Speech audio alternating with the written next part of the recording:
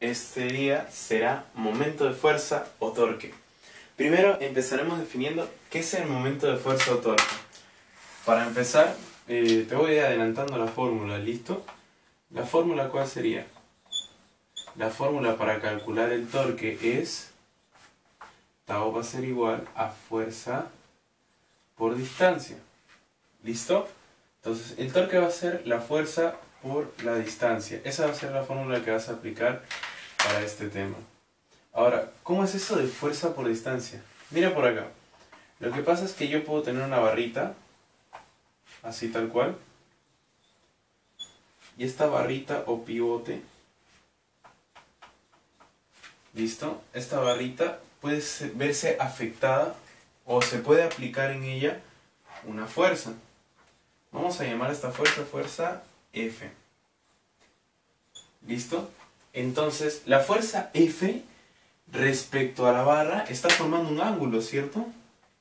Bueno, sí, está formando un ángulo. A este ángulo lo vamos a llamar teta.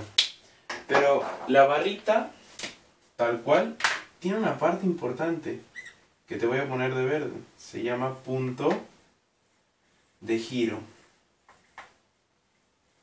¿Ok? Se llama punto de giro. Esa parte importante que quiero que recuerdes. Ahora, esta barrita tiene una longitud, ¿cierto? Bueno, esta barrita mide L. No sé cuánto mide, así que vamos a decir que mide L. Ahora, yo quiero que veas algo en F, que tiene algo llamado línea de acción. Súper importante la línea de acción. ¿Ok? Eso de azulito es la línea de acción, la dirección que va a tener F. Entonces por acá te voy a dibujar de nuevo la barrita, pero ahora solo de azul. Y solo te voy a dibujar una línea. Este punto, ¿cómo se llama? Se llama punto de giro. Acá teníamos la fuerza con su línea de acción, ¿cierto? Y estaba haciendo un ángulo. ¿Qué ángulo estaba haciendo la fuerza con respecto a la barra? Un ángulo teta. ¿Cuánto medía la barra, por favor? Medía L. ¿Cierto? Entonces, ¿qué pasa? El torque está definido como, bueno, para ti, eh, como la distancia, ¿ok? Es el producto de la fuerza por la distancia del punto de giro a la línea de acción, ¿ok? La distancia del punto de giro a la línea de acción. ¿Cuál es la distancia del punto de giro a la línea de acción? Esta es la distancia del punto de giro, este es el punto de giro, punto A le vamos a decir, punto de giro a la línea de acción. Esta es la línea de acción y cae perpendicular. ¿Ok? Entonces, esta distancia de acá, que vamos a llamar D, es esta de acá. ¿Ok? Es la distancia del punto de giro a la línea de acción. Bueno, propuesto por el vértice, tú sabes que esto es teta, ¿cierto? Oye, el que está al costadito de teta, ¿cuánto equivale? A la hipotenusa, que sería L, por el costadito, costadito, será coseno de teta. ¿Cierto? Fácil, ¿no? ¿Y de cuánto será? Bueno, igualmente la hipotenusa, pero ahora ya no está al costadito, ¿no? Ahora será seno de teta. Entonces, la distancia del punto de giro a la línea de acción es L seno de teta. Por lo tanto, podemos redefinir la fórmula como el torque va a ser igual a la fuerza multiplicada por la longitud de la barra por el seno del ángulo que forme la fuerza con la barra. ¿Ok? Entonces, esta es otra manera de expresar el torque. Pero hay algo importante que no quiero que te olvides. ¿ah? Esto también va a tener un signo. ¿ah? Eso va a tener un signo. Oye, ¿cómo es eso de un signo? Lo que pasa es que si el giro de la barra es antihorario, lo voy a poner por acá, antihorario. Si el giro de la barra es antihorario, el signo que tiene el torque es positivo. Y si el sentido de la barra es horario, ¿ok? Si el sentido de la barra es horario, el signo que va a tener el torque va a ser negativo, ¿ok? Esto no te vayas a olvidar, por favor. ¿Listo? Entonces acá tenemos un, voy a ponerte a diagrama. Para que no te olvides, ¿cierto? Ahí tenemos mi diagrama. ¿Cómo se llama este punto? Punto de giro. Esto que está de rojito, esta flecha, ¿qué es? La fuerza. ¿Qué es teta? El ángulo que forma la fuerza con la barra. ¿Qué es lo de azul? Es la línea de acción. Se me olvidó ponerte. ¿Qué es lo de azul? Lo de azul se le llama línea de acción. Entonces, lo de azulito es la línea de acción. Esta L, ¿qué significa? Es la distancia o lo que mide la barra, ¿cierto? Entonces, lo que tengo que hallar aquí, esta D, es súper importante, es la distancia del punto de giro a la línea de acción, que en este caso, ¿ok? Un caso general para todo, va a ser FL seno de teta, ¿cierto? Oye, ¿qué sucede si mi barrita, a ver, vamos a ver un caso especial, ¿no? Casos especiales. Casos especiales. Por ejemplo, ¿no? ¿Qué pasa si... A ver, caso 1, ¿no? ¿Qué pasa si mi barra... Ok, ahí está mi barrita. Aquí está mi punto de giro. Bien. Y mi fuerza está formando 90 grados con la barra, ¿cierto? Y sabemos que esta barra mide D. Ah, bueno. ¿Qué dijimos? Que el torque era igual a qué cosa? a fuerza por la distancia que hay del punto de giro, esto va a ser punto de giro, hacia la línea de acción de la fuerza. Oye, pero la fuerza, la línea de acción de la fuerza es perpendicular a la barra, ¿cierto? Bueno, entonces será del punto del giro a la línea de acción es D. ¿Listo? Sería D, siempre y cuando la fuerza sea perpendicular. Esto también lo podemos ver si digamos ponemos torque igual a F por la longitud que sería D por el seno del ángulo que hay entre la fuerza y la barra, que en este caso sería 90. Y lo mismo nos resultaría, ¿cierto? No es tan complejo. Otro caso. A ver, ¿qué sucede? Te voy a poner, ¿qué sucede? ¿Qué sucede? Si la línea de acción, ¿ok? Si la línea de acción de la fuerza pasa por el punto de giro. ¿Qué sucede si la línea de acción de la fuerza pasa por el punto de giro? Mira, acá tengo mi barrita y acá tengo mi punto de giro. ¿Qué pasa si, por ejemplo, yo aplico una fuerza en esta dirección? Oye, la línea de acción no sería... A ver, te la vamos a poner en azul. La línea de acción no sería esta de acá, ¿Cierto, no? La línea de acción sería esta de acá. Esta es mi línea de acción, ¿no? La fuerza está yendo en esta dirección. Pero mi línea de acción está pasando por mi punto de giro. Ah, ya. Entonces el torque es nulo. ¿Ok? Siempre que tu línea de acción pase por el punto de giro, tu torque será nulo. ¿Listo? Esos son los casos especiales. Eh, ¿Qué más tienes que recordar? Condiciones de equilibrio. ¿Ok? Vamos a poner por acá. Condiciones de equilibrio. ¿Ok? Condiciones de equilibrio. Para todo cuerpo rígido se van a cumplir dos condiciones para que esté en equilibrio. La primera condición es un equilibrio rotacional. Un equilibrio de rotación. Y la segunda condición es un equilibrio traslacional. Un equilibrio de traslación. ¿Ok? Ok, entonces, ¿cuándo se cumplen las condiciones de equilibrio? Es un equilibrio rotacional cuando hablemos de la sumatoria de torques sea igual a 0. Y es un equilibrio traslacional cuando la sumatoria de fuerzas en el eje X sea igual a 0 y la sumatoria de las fuerzas en el eje Y sea igual a 0. ¿Ok? Entonces recuerda, condiciones de equilibrio hay dos.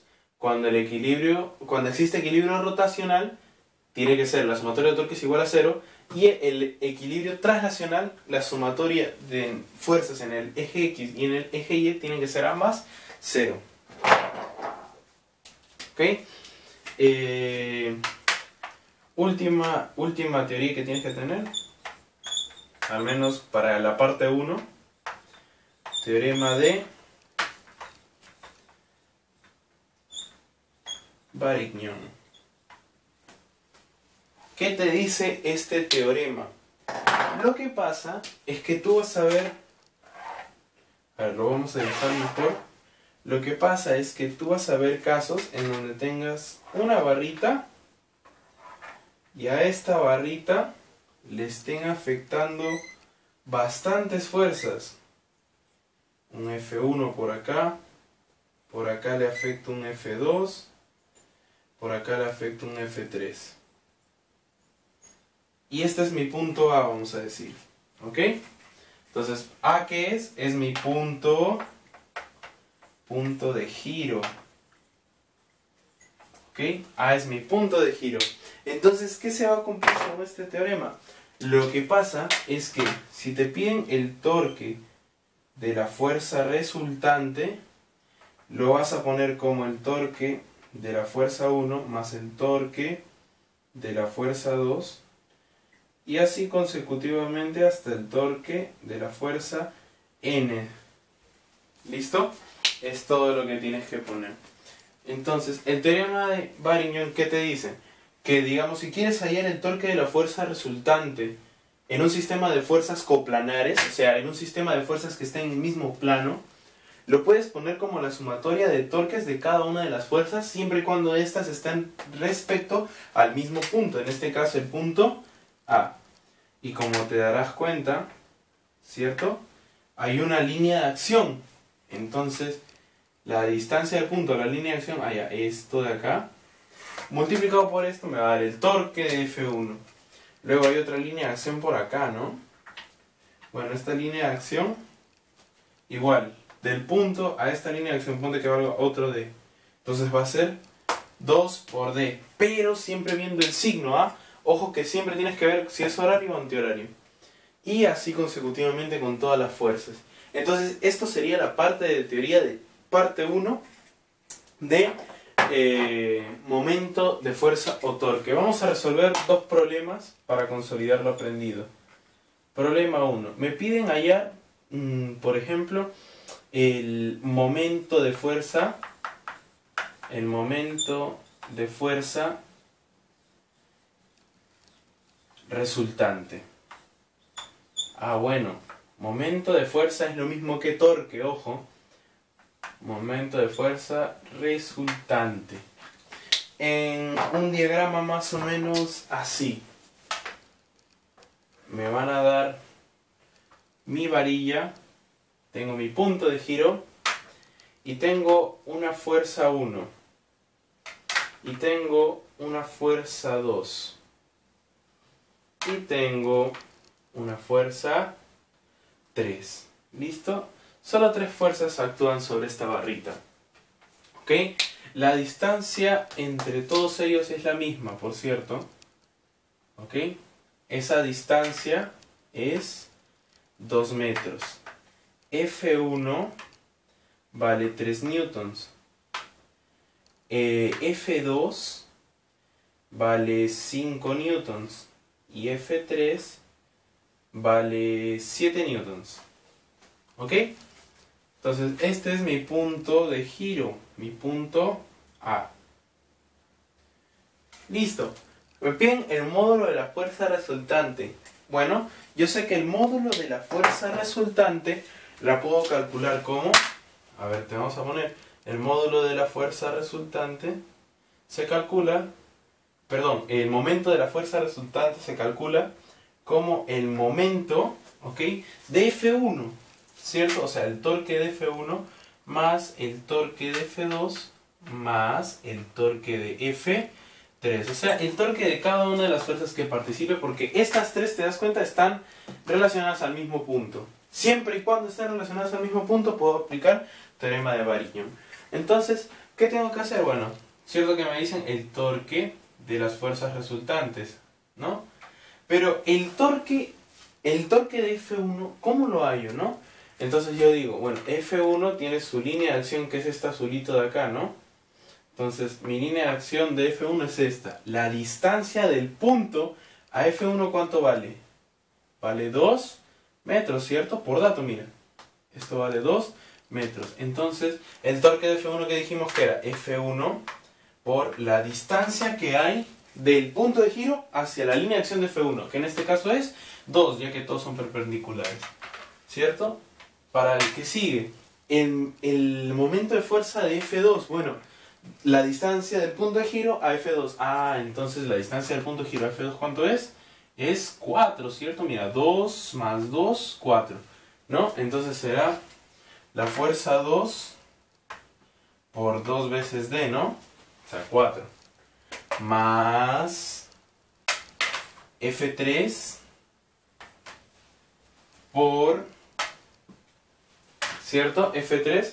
¿Y cuál es la otra distancia? 2m. Simple, ¿cierto? Entonces será 3D. Oye, pero le has puesto más y tú me dijiste que recordara siempre los signos. Tienes toda la razón. Vamos a ver. Para el torque de F1, para el torque de F1, yo tengo que analizar, mira, imagina que esta es la barra, ¿no? Si F1 es mi mano, F1 lo va a jalar. Te pregunto, ¿esto es en sentido horario o antihorario? Es en sentido antihorario, por lo tanto, el torque en F1 será positivo. Hasta ahí vamos bien. En F2, veamos, en F2 hay una fuerza que lo va a jalar hacia abajo. ¿Es horario o antihorario? Mira, ¿horario o antihorario? Es horario. Ah, entonces F2 tiene que ser, F2 tiene que ser negativo. F3, a ver, el torque de F3 ¿cómo será? Bueno, es un giro antihorario, por lo tanto se mantiene positivo. Listo, entonces ya pusimos los signos, ojo. Primer paso es poner todo el teorema ¿ok? De Varignon. El segundo paso es fijarte los signos. Y el último simplemente será reemplazar, ¿cierto? Te pregunto, el torque de las fuerzas resultantes, el momento de fuerza resultante, será F1, o sea 3 newtons, multiplicado por la distancia que es 2, menos F2 que es 5, por 2 por 2, 4, más F3 que es 7, por 3 por 2 que es 6. ¿Ok? ¿Cuánto sería eso? 6 menos 20 menos 14 más 42 es más 28, ¿cierto? Corríjame si me equivoco. Más 42 menos 14, sí, más 28. Entonces, newton por metro es la unidad, por cierto. Esa sería mi respuesta.